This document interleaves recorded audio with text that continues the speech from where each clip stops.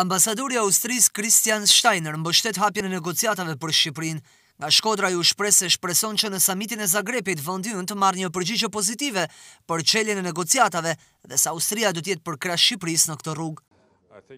Shpresojmë për më të mirën dhe vendimi për hapjen e negociatave të ndodhë shumë shpejt. Një aspekt shumë i rëndësishëm është mbështetja që jep Austria në procesin e integrimeve evropiane të Shqipërisë dhe shpresojmë që të kemi nisjen e hapjes së negociatave për anëtarësimin sa më të shpejtë. Për ne shumë i rëndësishëm është edhe aspekti i sigurisë dhe bashkëpunimit të Europës, ku këtë vit Shqipëria ka marrë edhe kryesimin e OSBE-së, që është një hap shumë i rëndësishëm dhe po bën një punë të mirë.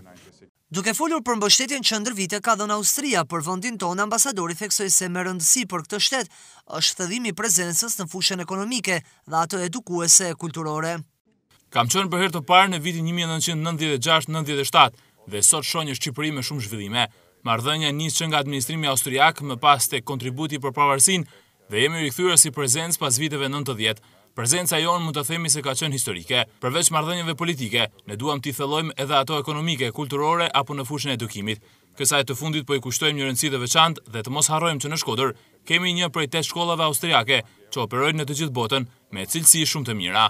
Deklaratat ambasadori i Austrisë i bëri gjatë një takimi kulturor me shkrimtarin dhe gazetarin Paul Lendvai, organizuar në Qendrën Arka.